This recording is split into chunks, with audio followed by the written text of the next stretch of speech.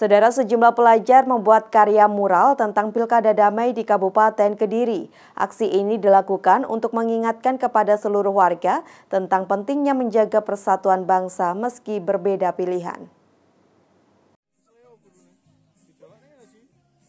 Belasan pelajar SMA ini melakukan mural di dinding lingkungan Polsek Pelemahan Polres Kediri. Mereka nampak senang menuangkan cat berwarna-warni pada lukisannya.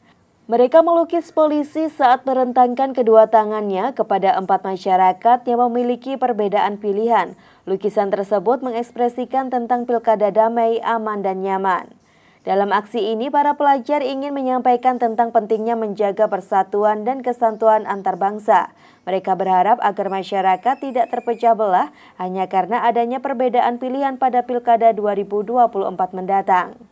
Tanya itu, para pelajar ini juga melukis simbol tentang bahaya judi online. Simbol tersebut sengaja mereka buat agar tidak ada lagi korban akibat kecanduan judi online.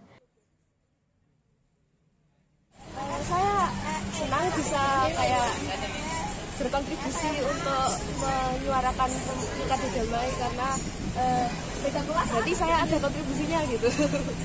mungkin senang bisa berkontribusi dari proses pelemahan uh, melaksanakan kegiatan salah satunya adalah sosialisasi tentang pilkada serentak kepada pemilih pemula dengan melalui sarana mural atau menggambar di dinding uh, dengan tema-tema pilkada damai anti hoak dan uh, tertib lalu lintas Maksudnya apa? Saat ini masih masa-masa kampanye, ditakutkan nanti terjadi konvoy yang tidak tertib lalu lintas dan sebagainya. Untuk itu kami menggandeng dari uh, adik-adik dari SMA satu pelemahan untuk bisa uh, melaksanakan kegiatan ini sehingga dia nanti bisa lebih mengerti dan bisa menyukseskan bersama-sama uh, event Pilkada serentak tahun 2024 dengan aman, tertib dan damai.